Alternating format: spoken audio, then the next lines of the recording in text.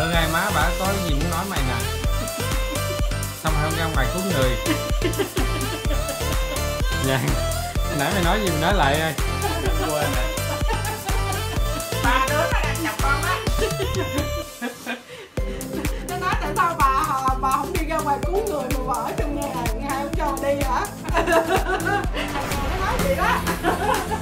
Chị khai lên đi cái cho chị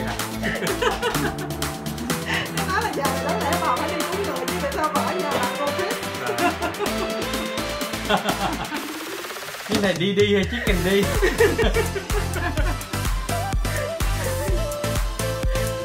Ok that's all I Ok tất cả